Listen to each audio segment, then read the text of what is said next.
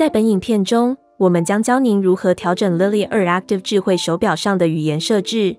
如果您的设备显示错误的语言，您可以参考这些指示来进行调整。首先，按住底部按钮以进入选单，向下卷动并选择列表中的最后一个选项，这是设定选单。接着向下卷动并选择列表中的最后一个选项，这是系统选单。